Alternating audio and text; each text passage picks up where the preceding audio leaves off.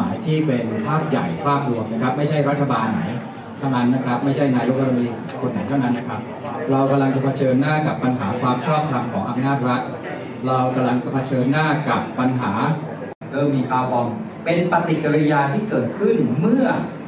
ความชอบธรรมของการบริหารการอำนาจในการปกครองของรัฐไทยเริ่มเสื่อมคลายทั้งสองสำนวนคดีเนี่ยก็คือ 14 คน จะมีการประชุมวันพรุ่งนี้ เราก็จะถือโอกาสในการ เปิดนะครับขอยติด่วนให้ให้มีการพิจารณาเรื่องนี้